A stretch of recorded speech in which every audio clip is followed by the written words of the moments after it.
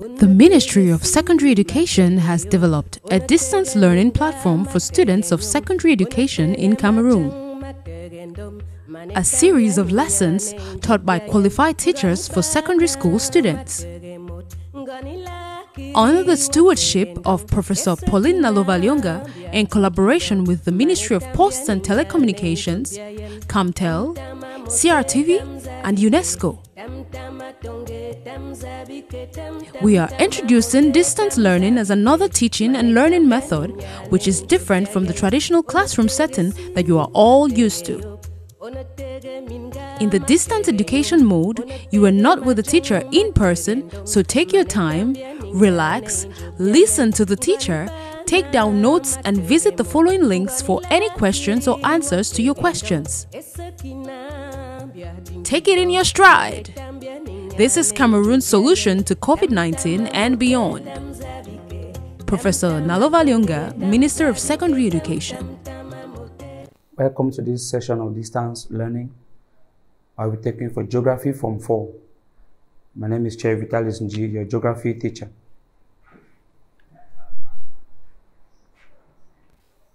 Before we go to our lesson of today, we would like to correct the assignment that was given in the last session. in the last session, we were asked the following questions. We were asked the question, what do you understand by terrace farming? What do you understand by terrace farming? And two, what do you understand by dry farming? What do you understand by dry farming? Now, terrace farming involves the cutting of flat terrace, terraces on a steep hill or steep slope to create lowland and conditions for farming. Terrace farming involves what? The cutting of slopes or steep hills into flat lowlands to create space or environment for farming and also reduce soil erosion. That is terrace farming. Create cutting of slopes or steep hills into steps that are flat that can be available, can be make make farming possible. That is terrace farming. And then uh, it is a form of land reclamation also because most of these lands that terrace farming is cultivated is, is carried out on are steep slopes that cannot be used for any other thing. But now, if you practice terrace farming, you have reclaimed or you've turned the land to be able to be used for something, to yield something. Uh, it is also a technique of soil conservation. I said the first thing is that when you cut the slope into steps, you reduce soil erosion. And by reducing soil erosion, you are already practicing soil conservation. This is a picture of terrace farming where the slope is cut into steps. Look at steps. This, this, is, a, this is a farmer that's climbing. But now the slope was steep. If it was not cut into steps, the farmer will not be able to climb. Crops will not be able to, to be cultivated. And so the flat steps that have been cut on the slope are providing what? Ground for farming. And they also go a long way to reduce what? Soil erosion through runoff that runs down the slope from the top. That is uh, our uh, uh, definition or the meaning of terrace farming. I said it is a cutting of slope into steps to provide land for farming and also a form of soil conservation by reducing soil erosion. We now move to the second question. What do you understand by the term dry farming? What do you understand by dry farming? This is the cultivation of crops without irrigation, but rather soil moisture is conserved through mulching. You know, in drier tropics where water is limited, irrigation is practiced. That is bringing in water from elsewhere into areas where there is no water to water the crops. That is irrigation. But in a situation where water is not used, However, soil moisture content is conserved through addition of ground under the crops. This is called mulching. That is equally uh, dry farming. Again, dry farming can also be defined as what? The addition of grass or, or veget vegetation spread over the, the ground or under crops to contain and maintain soil moisture content. It is still dry farming. That is, decaying vegetation is spread over the soil to keep water and prevent the soil from uh, drying up and cracking or the little water is there from evaporation. You cover it with decaying vegetation or dead plants and animals are spread over the, the, the soil or under crops to protect the soil from drying up or little water is found there to evaporate. It is, it is this kind of uh, farming system is common in semi-arid areas.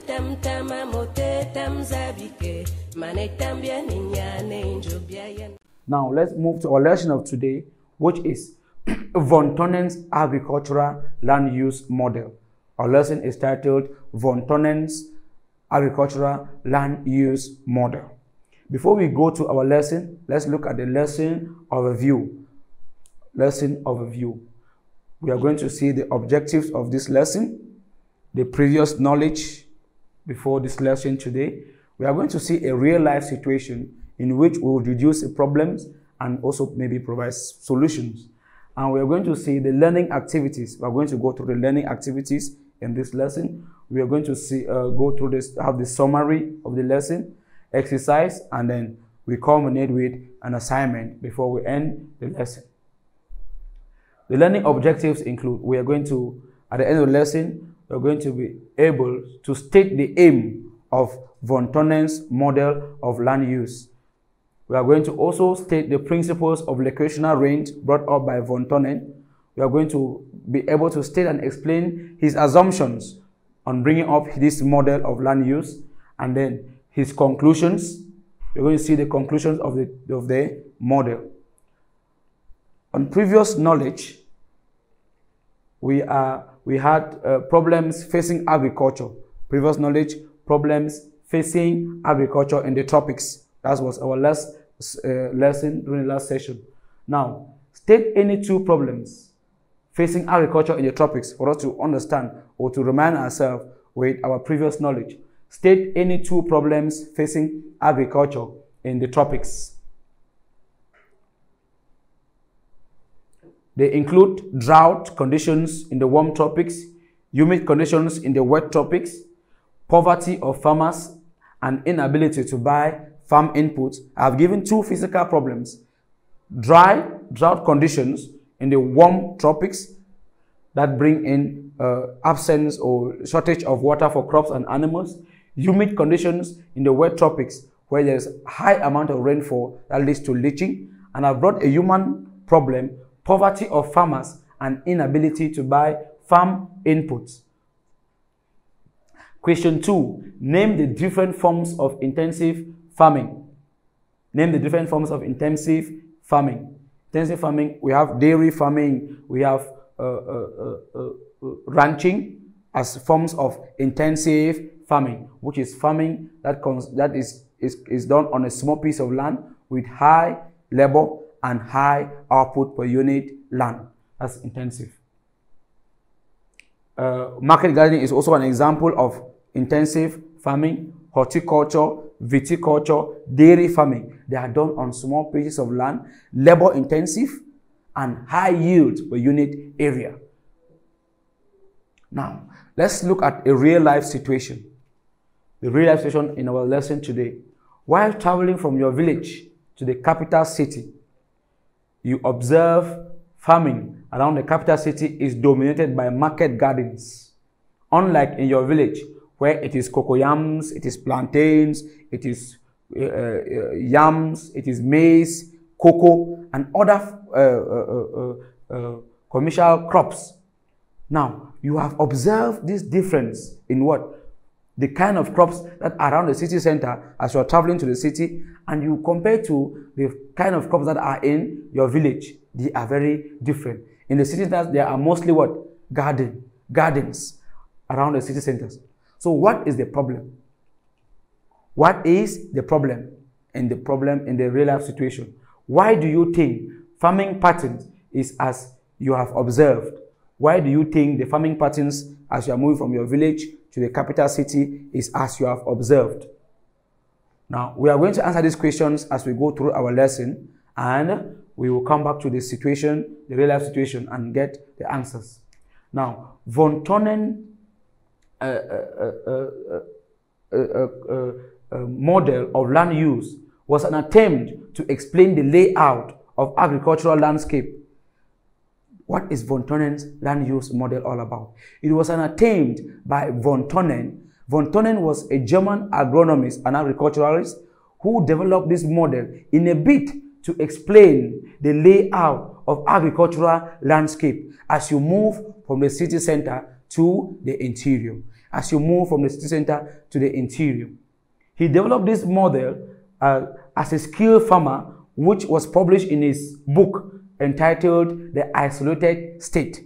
Von Thunen, this German agronomist or German agriculturalist, developed his model in a book entitled The Isolated State, which he tried to explain the layout of the patterns of the layout of agriculture from the city center or the market to the interior. What were the aims of his model? One of the objectives we had was what? To bring out the aim of the model, the model of von Thunen on land use pattern. One of the aim was to show how and why agricultural land use varies with distance from the market. To show how and why agricultural land use varies with distance from the market. Now, the main principles of the concept of, of, of, the, of his concept were the principles on which von Thunen built, built his concept were economic rent or locational rent. We are going to see it. Economic rent or location rent. He used the principle of economic rent to analyze the difference profit per unit area based on number of assumptions. Meaning that economic rent according to von Thunen, was the profit made from locating your farm in a particular area. The profit made from the produce of your farm as you locate it in a particular area. That is economic rent. Now, he said he used a number of principles to, of economic rent to analyze the different net returns per unit area because, because of a number of assumptions to be able to have the principle of economic rent, there were a number of assumptions that he used so as to analyze or to use economic rent to analyze the differences in the location of your of agricultural land uses as you move away from the market. The first assumption of von Thunen's land use model is this he assumed that the city is located in, in this that the, the, the city is located in the central in the central of the isolated state. And this city is where the market is found. Therefore, according to him, the market is located in the center of the isolated state. The isolated state is surrounded by unoccupied wilderness. That's within that isolated, uh, uh, uh, within out of the city center or the market, the rest of the land is a vast lying land isolated wilderness. He termed it unoccupied wilderness. The next assumption was what? Soil quality, soil fertility, and climate is the same all over the isolated state. He first of all assumed an isolated state and that at the center of it was a central place where the market is found and out of central place was a, an occupied wilderness. And out in this central state or isolated state, climate and soil fertility is the same throughout. And there was one, or there is one mode of transport, and this mode of transport is the ox pulled cart. The ox pulled cart is a, an olden days means of transport where a cart was built and was dragged by horses or oxes. And von Thunen used the ox pulled cart as the only means of transport in his assumptions. Von Thunen, as looking at the conclusions, von Thunen concluded or uh, concluded the pattern of rings around the city based on land cost and transport cost. He concluded that the pattern of agriculture occupied or formed rings around the city as you are moving away from the city with respect to the cost of land and the cost of transport. Now, within these rings that are uh, showing the different patterns of land use in terms of agriculture from the city to the interior or to the wilderness with respect to cost of land and transport. In zone one, he said he, he said it was dedicated to dairy and market gardening because the products of dairy farming and market gardening are perishables. Milk, milk is a perishable, and it, according to him, should be practiced at the city or just the first ring from the city center. The next zone, zone two, was the production, uh, uh, uh, zone two for production and harvest of forest products. Zone three for extensive field crops such as grains. And zone four for ranching or animal rearing, for ranching. As you can see on your screens, according to Von Thunen, the city center has the market and the various patterns of agriculture were in the form of rings round the city center into the wilderness. Zone 1, he said, is for perishables and market, market gardening and perishables, which is veg, cultivation of vegetables and uh, uh, uh, dairy farming. Zone 2, zone 2 for intensive uh, uh, forest products, forest products, and then zone 3 for extensive grain farming, field farming, eh, plantation agriculture, and zone 4 for, for, plant, for ranching and animal products. That is zone 4. All right. And he called this landscape, this landscape, the wilderness, away from the city center. He called it the wilderness, according to Von Thunen.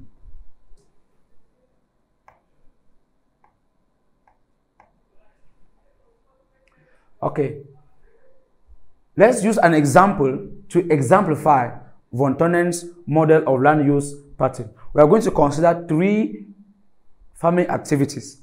Market gardening, maize, beef, and cattle farming.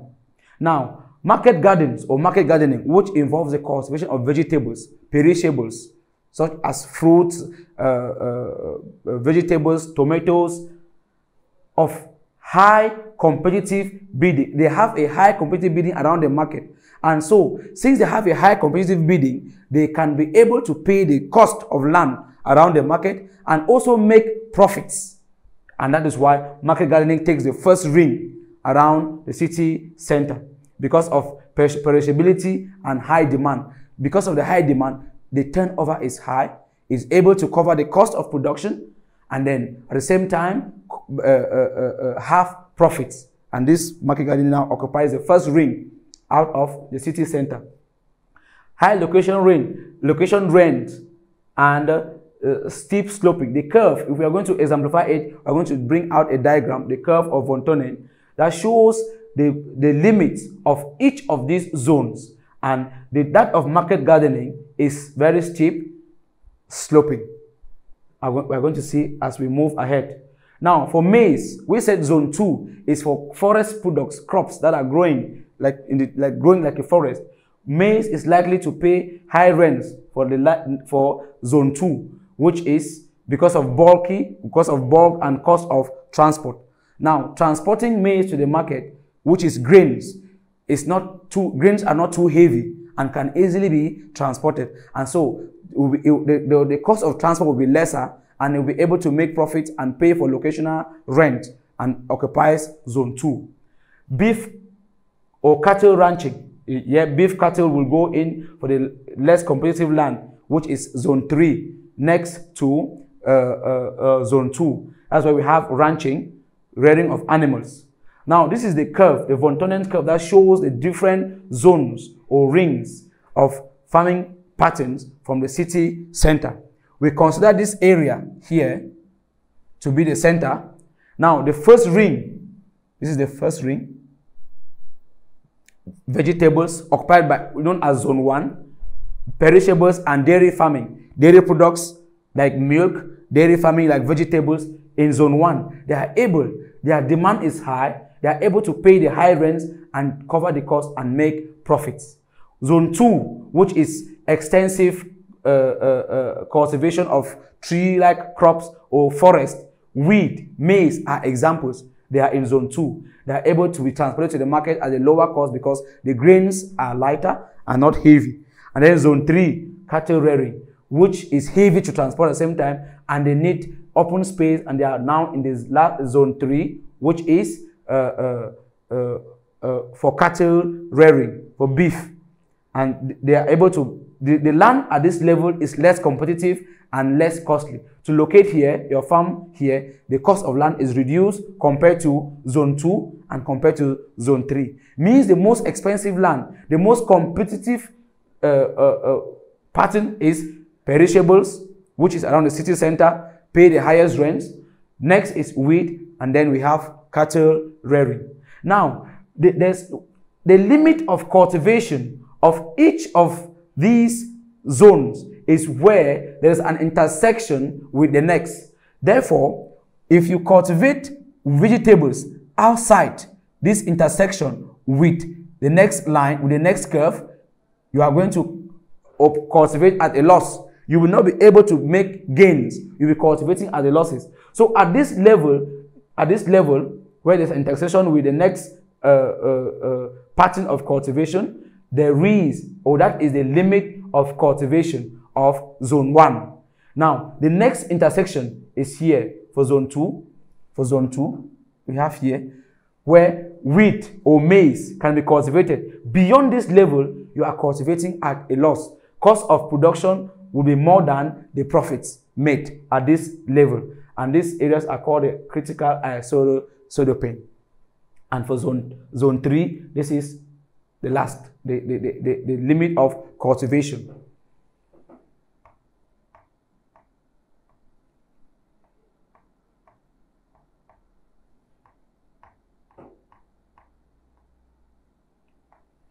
All right.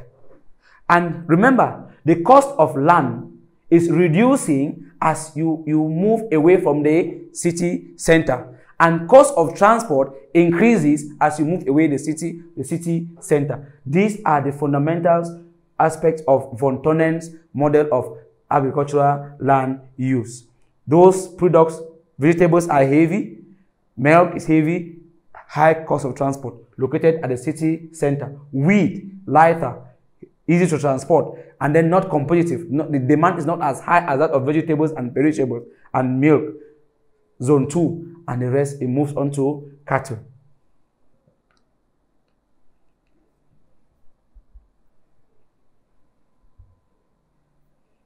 Okay, the conclusions of von Thunen's model. Conclusion of von Thunen's model. According to him, land values decreases with distance from the city center. This means that as you leave the city center, we have the highest amount paid to land. As you are moving away, the value of land is decreasing. Different land uses, different land use activities are contained in concentric rings. He used concentric rings to, uh, to, to show the different land uses as you are moving away from the city center to the uh, uh, uh wilderness. And they are, because of the homogeneous climate, homogeneous soil fertility, this, the, these areas of land use as concentric. They are round, occupying the same distance from all angles or to all angles from the city center. And this is based on transport. The most productive activity is located in the, in the city or near the city center. Most productive activity located in the city or around the city center. We have seen that perishables have high demand. Dairy products have high demand and they are the most lucrative. Where are they located? According to von Thunen, around the city center and occupy the first ring. Now, the intersection point between one crop type and the next is the margin of transference. As I was showing in the graph of von Thunen, that this is the intersection point from one type of crop to the other. Where they intersect is the margin of transference. Once you go up beyond that intersection and start cultivating, you are cultivating at a loss. Cost of production is going to be higher than cost of uh, than profit made. That's what we mean by uh, uh, uh, the intersection point between one crop type and the next is the margin of transference. And now, what is margin of transference? The limit where one crop gives way to another because it's no longer profitable to cultivate that crop beyond that limit. Beyond the limit, I mean, where the, the graph for the, the next crop intersects with the next that of the next crop, it is the margin of transference. And the margin of transference is the limit where crops can provide, can be grown successfully and gives you profit. Once you move beyond that limit, you are producing at a loss. Cost of production is more than profit made, and no farmer will be able to be, to go beyond that. At this point, the revenue at the trans, the margin of transference, the, the, the, uh, the total revenue equal total cost. We are just operating as a boss. The total revenue is equaling is uh, uh, uh equals total cost. Let's go to let's sum, go to the summary of the lesson and reflect on the situation, the real life situation that we had, wherein uh, you were traveling from your countryside or from your village to the city center.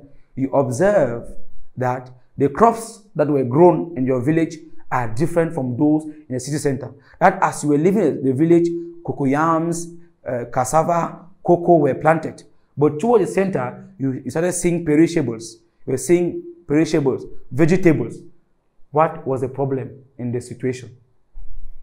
You, the problem was what? Variations in the layout of agricultural landscape. There is variation. The problem was there is variation in the layout of agricultural landscape, meaning that diff different as aspects of agriculture are practiced in different places depending now on the cost of production and cost of transport as you move from the market to the interior. That was the problem. Why do you think the farming pattern is as you observed? Why do you think the farming patterns you observe from your village to the, to the market, to the city, are as the way you observe them? Why? Because of the high competitive bidding for market gardening around the city center and high demand. Once there is a high demand for a particular farm produce, that farm produce will situate where the demand is. And the, since the demand is in the city center, you find that the farm, the, the, the, the crop will be planted or be cultivated around the city center. And in our case of Von Thunen, perishables and dairy products were of high demand and they occupied the first concentric ring around the city center. What is the relevance of this lesson? What is the relevance of this lesson to learners? Now, learners will be able to sustainably manage agricultural activities instead of carrying or cultivating rice near the city center. You will understand that the demand of rice may not be as the demand for other farm uh, for other crops and so you take rice where the, uh, the cost of production will give you the highest gain. Because of land prices or the cost of land in the city center, rice will not be able to be competitive enough to pay the rents on land. And so you bring in the farm, the, the crop that will pay the highest rents for land and also give you and, and also make again. That is the essence. That is the relevance of the lesson. You'll be able to, to sustainably manage agricultural activities as you got this lesson, you will not be you will not be the kind of farmer that will take plantation and bring to the city center. They will not be able to cover the cost of land in the city center.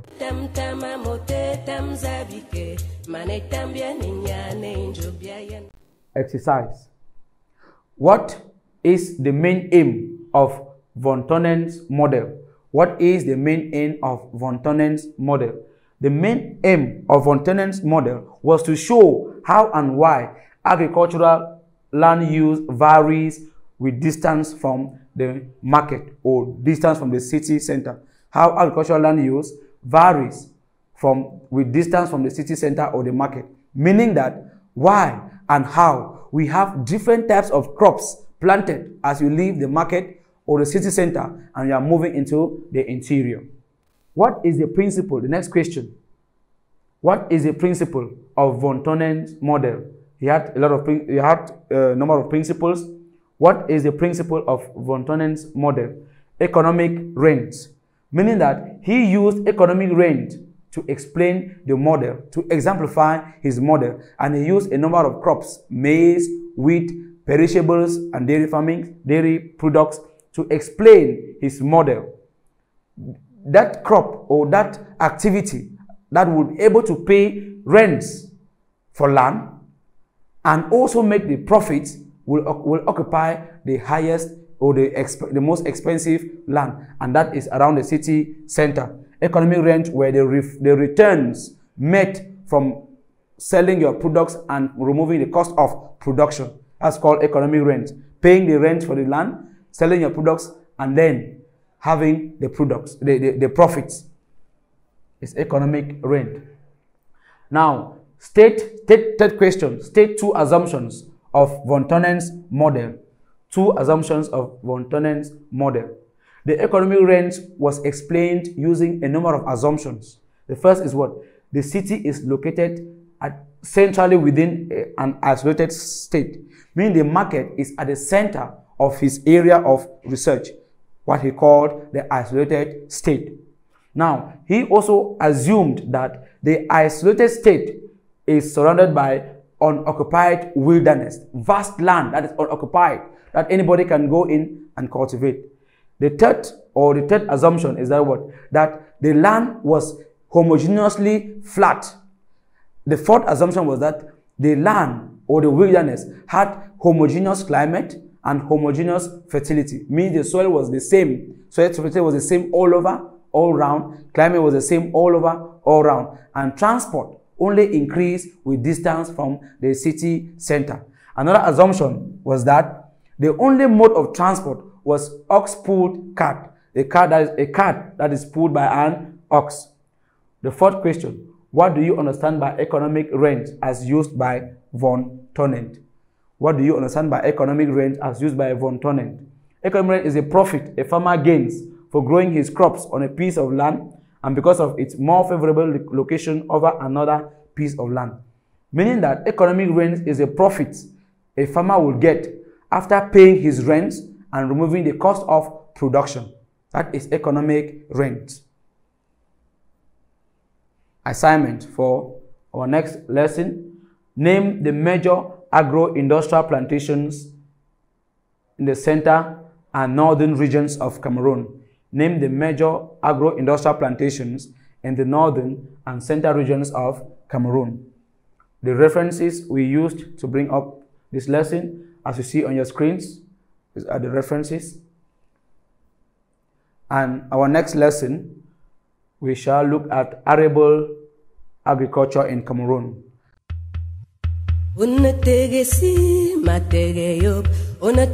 Minga matege majang matege ndom, ngani bana matege mot, ngani watege ndong, esekina bia dinkido,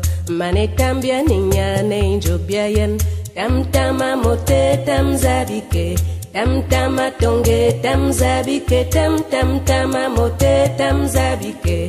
Mane tambia ninyane njobia yen